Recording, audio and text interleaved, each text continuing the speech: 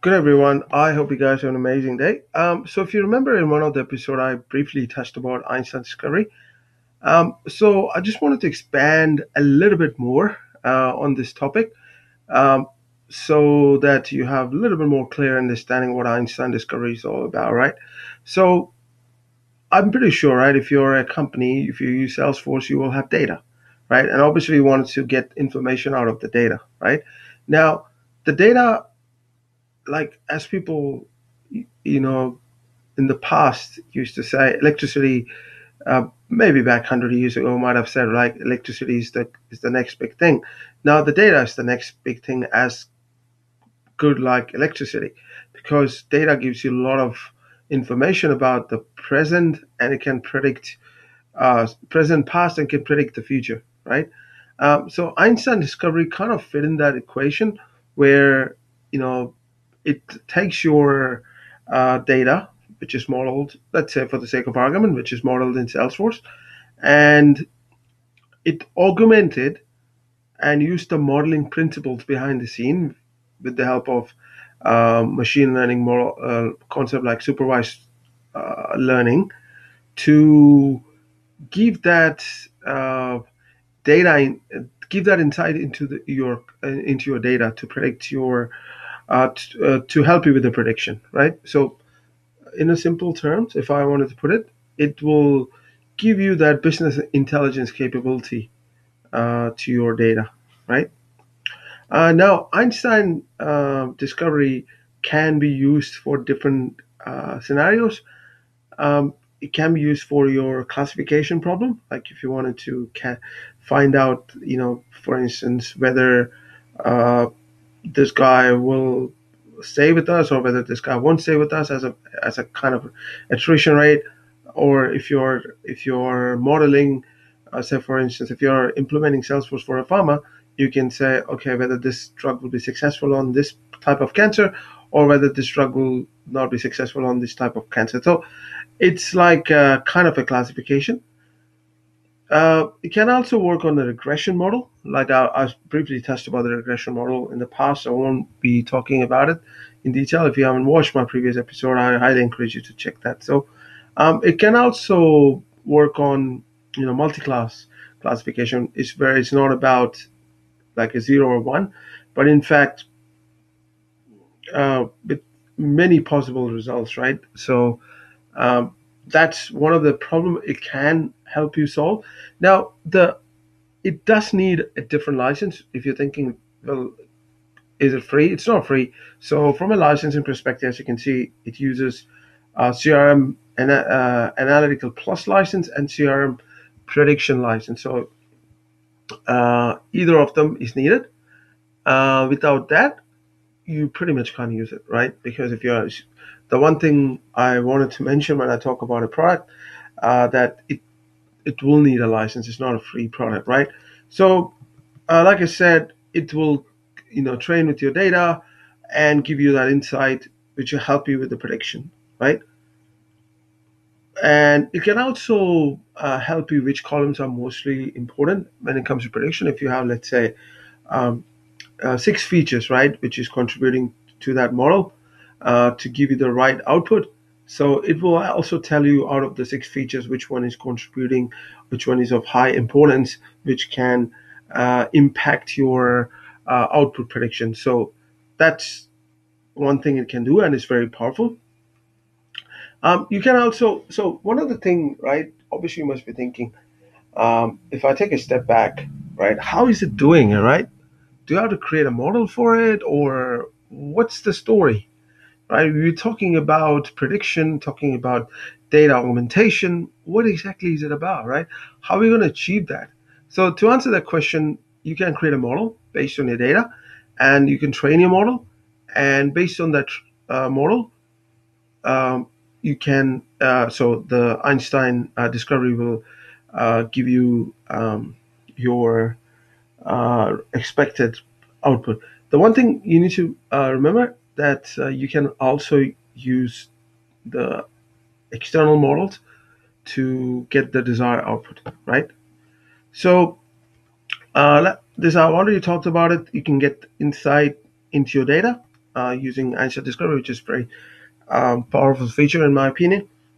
Um, now, one of the challenge, right, especially with this course, I mean, I, sometimes I wonder should I really get into the hands-on aspect of this uh, Einstein stuff? It's not really needed because this course don't expect you to know detail nitty gritty um, aspect of Einstein, which I believe can be good or can be bad. In the bad in the sense, right? I mean, I, I'm I'm more hands-on kind of person, right?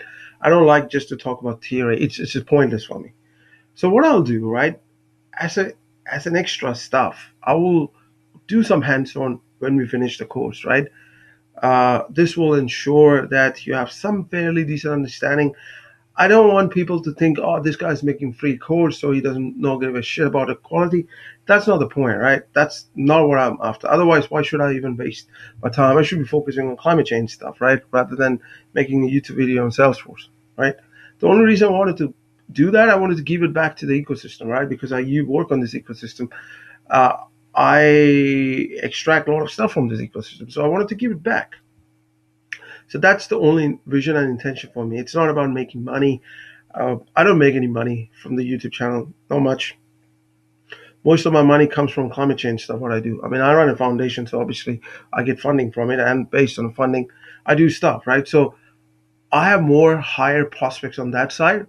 So I'm, so that doesn't mean that I, don't want to do this. I wanted to do that, but uh, so just don't think that you know I want since it's a free, I won't be, you know, adding quality stuff. I just wanted to make sure where I can draw the line. That's what I'm getting at, right?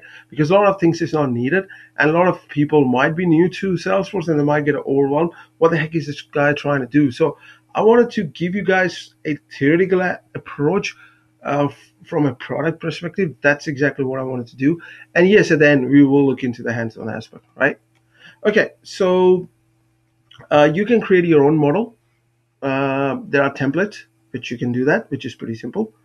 Um, yeah, and also uh, before I get into template, if it also send you alerts, like for instance, if you have a data, and inside the data, if you if it sees some kind of uh, anomaly or some kind of discrepancy, it will send out an alert. Even you have that capability built in um, with um, Einstein Discovery. There are uh, something called data alert, and yeah, and so, yeah, and wait a second. Yeah. So, as I was saying about the models and templates, right? So, you can use the out of box models to do that. It's very powerful functionality. Um, so, you don't have to really, you know, uh, do everything from scratch, right? Um, like I said, you can also bring outside model. Uh, somewhere it says here just a second. Uh, my apologies, I'm showing this from a Trailhead because I don't want to build a slide. Like I said, it's just a waste of my time uh, to build a slide when everything is there, and it's very, and so I don't take any credit. So it's all Trailhead stuff. Right. Uh, now, one more thing I just wanted to talk about. You must be thinking, what is a model? Uh, it's a sophisticated mathematical construct that Einstein discovery create based on settings and data.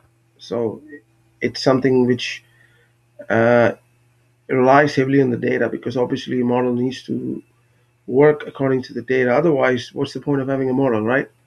Um, so one more thing I just wanted to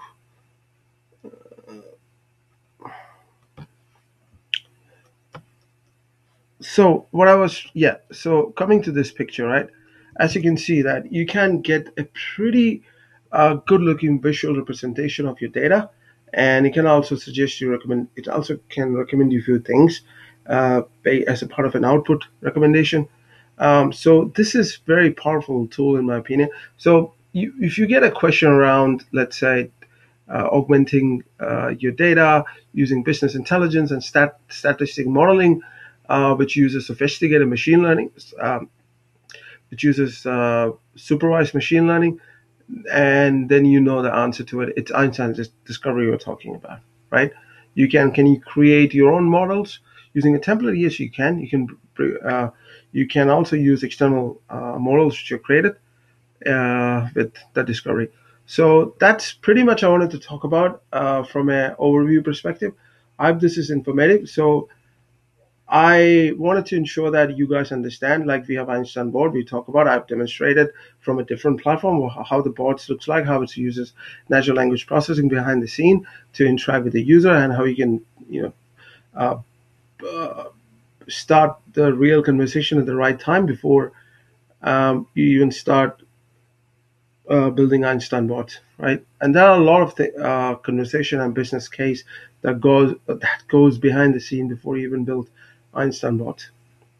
Uh, it's not like you know you gave some task to developer and developer started building the the conversation uh, with an assumption. It all needs to be part of the governance process, right? What all things needs to be uh, addressed, what all how the conversation will start, how the conversation will end, uh, what are the things that the bot should watch out, how to avoid the bias, how to not to discriminate, that kind of stuff. You need to worry about it, right? When you're building an bot, it's not just a very simple point and click.